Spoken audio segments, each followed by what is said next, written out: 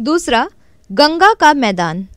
इस मैदान का निर्माण गंगा एवं उसकी सहायक नदियों, यमुना, घाघरा, गंडक, कोसी आदि के द्वारा बहाकर लाई गई काँप मिट्टी के जमाव से हुआ है।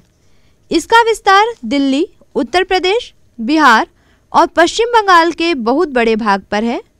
इस मैदान में भूमिगत जल कम गहराई पर मिलता है। मैदान में मानसूनी हवाओं द्वारा भरपूर वर्षा होती है। सिंचाई सुविधाओं का विस्तार गंगा और यमुना के पश्चिमी मैदान में अधिक है।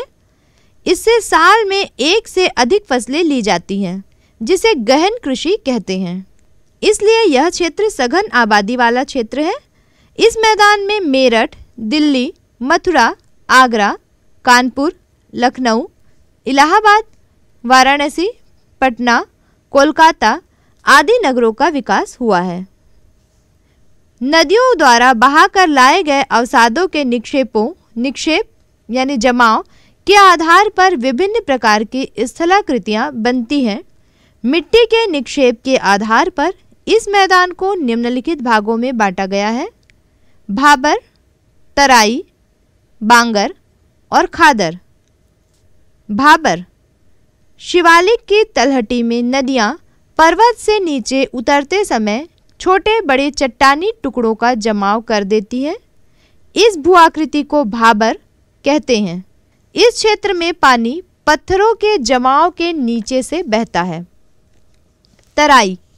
भाबर प्रदेश में विलुप्त हुई नदियाँ मैदानी भागों में पुनः दिखाई देने लगती हैं और उसका जल अधिक विस्तृत क्षेत्र में फैल जाता है, जिससे यह क्षेत्र दलदली बन जाता है, इसे तराई कहते हैं। स्वतंत्रता के बाद इस क्षेत्र में कृषि का विकास हुआ। बांगर, उत्तरी मैदान का बड़ा भाग, जो पुराने जलोढ़ से बना है, यहाँ बाढ़ का पानी नहीं पहुँचता है, इसे बांगर कहते हैं। यह मैदान कम उपजाऊ है, यहाँ मोटे अनाज की खेती होती है। खादर वर्षा काल में नदियाँ बाढ़ के मैदान में प्रतिवर्ष नवीन काँप मिट्टी का निक्षेप करती हैं। इन निक्षेपों को खादर कहते हैं यह अत्यधिक उपजाऊ क्षेत्र है। इस मिट्टी का विस्तार पूर्वी उत्तर प्रदेश, बिहार व पश्चिम बंगाल में है। यहाँ गन्ना, गेहूँ, धान, जूट, दलहन, तिलहन की खेती अधिक होती है। गोखुर झील।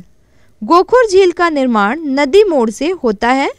जब कभी बाढ़ आती है तो नदी अपने घुमावदार विसर्प मार्ग को छोड़कर सीधे मार्ग से प्रवाहित होने लगती है।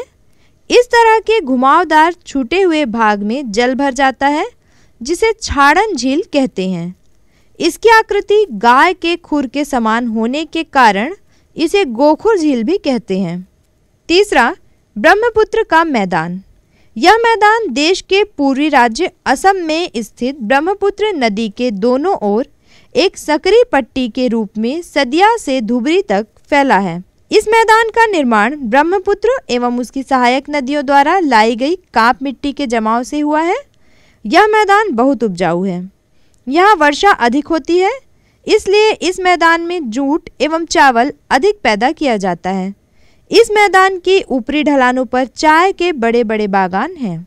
ब्रह्मपुत्र एवं उसकी सहायक नदियों में बाढ़ अधिक आने तथा नदी मार्ग में अवसाद के जमाव के कारण यह नदी अनेक शाखाओं में बढ़ जाती है। नदी मार्ग में अवरोध के कारण अनेक द्वीप बन गए हैं, जिसे नदीय द्वीप कहा जाता है। इस मैदान का प्रमुख नगर गुवाहाटी है।